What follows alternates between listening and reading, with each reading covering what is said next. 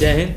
तो इस वीडियो में हम जानेंगे कि जो है विंडोज़ 11 जो हमने इंस्टॉल किया कुछ देर पहले, आपको हम वीडियो दे चुके हैं। अगली वीडियो जो हमने दी, पिछली वीडियो इसमें जो है आपको विंडो 11 जो है इंस्टॉलिंग जो है, सबसे लेटेस्ट वर्जन 22 एस टू कैसे इंस्टॉल करेंगे हमने बताया था। अब हम बताने वाले हैं आपको कि विंडोज़ इंस्टॉलेशन के बाद जो है, यहाँ पर आइकन्स जो आते हैं this PC mic control panel और यहाँ पर अपने जो पर्सनल रहता है पर्सनल का जो आपका रहता है, उसका और उसके बाद से जो है अनदर सेटिंग्स होती हैं कंप्यूटर्स की, यहाँ पर कैसे हम उसका आइकन जो है लाएँगे। तो उसके लिए हम इस वीडियो में आपको पूरी टोटल स्टेप बाय स्टेप जानकारी देने वाले तो वीडियो को आप इसकी मत कीजिएगा। और यदि आप चैनल पर नए चैनल को सब्सक्राइब कर लीजिएगा। यहाँ पर देखेंगे हम राइट क्लिक करेंगे सिस्टम पे और यहाँ पर देखेंगे इसमें आपको कुछ एक्स्ट्रा फीचर्स मिलेंगे। यहाँ पर देखेंगे, यहाँ पर आपको कुछ चीज़ें देखने को नहीं मिलेंगी। तो यहाँ सो मोर ऑप्शन करेंगे। तो यहाँ पर आपको देखेंगे पहले वाली आपको डिटेल्स मिल जाएगी।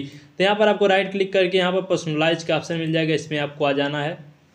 जैसा कि हम विंडोज़ टेन या सेवन में जाते हैं पर्सनलाइज में पर्सनलाइज में आ जाने के बाद यहाँ पर आपको देखेंगे कुछ अलग विंडोज़ आपको देखने को मिल जाएगा तो यहाँ पर आपको आ जाने के बाद यहाँ पर देखेंगे आपको थीम्स का ऑप्शन मिल जाएगा विंडोज़ टेन में भी आपको थीम्स में ही जाना होता था तो यहाँ पर भी आपको थीम्स में ही आना है थीम्स में आ जाने के बाद यहाँ पर आप देखेंगे यहाँ पर जो आपके सामने मिल जाएगा बैकग्राउंड यहाँ पर आप साउंड और यहाँ पर माउस कर्सर और यहाँ पर कलर मिल जाएगा थोड़ा सा आप स्क्रॉल डाउन करेंगे तो यहाँ पर आपके नीचे देखेंगे डेस्कटॉप आइकन जो है आपका यहाँ पर मिल जाएगा तो इस पर क्लिक करके हम जो इसको डेस्कटॉप के आइकन को आपको डेस्कटॉप पर ला सकते हैं। तो चलिए वीडियो में बने रहें आप।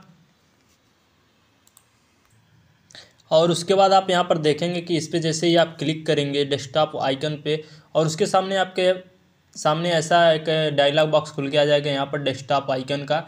और यहाँ पर देखेंगे आपको कंप्यूटर मिल जाएगा कंट्रोल पैनल मिल जाएगा यूज़र प्रोफ़ाइल और यहाँ पर नेटवर्क का मिल जाएगा। आपको सबको जिसका भी आपको चाहिए, आपको डेस्कटॉप पे उसको यहाँ से सेलेक्ट कर लेंगे, उसके बाद से यहाँ पर अप्लाई पे क्लिक कर देंगे ओके कर देंगे, यहाँ पर आपके डेस्कटॉप पर ये सभी आइकन्स पहुँच जाएँगे, यहाँ पर आपको मिनिमाइज करके दिखा देते हैं।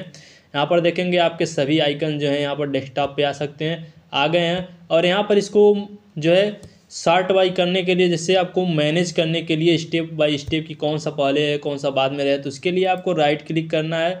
और एक बार रिफ्रेश कर देना, यहाँ पर आप देखेंगे आपका ऑटो ऑटो अरेंज हो जाएगा सिस्टम यहाँ से देखेंगे आपकी पहले की जैसी पूरी विंडोज़ मिल जाएगी।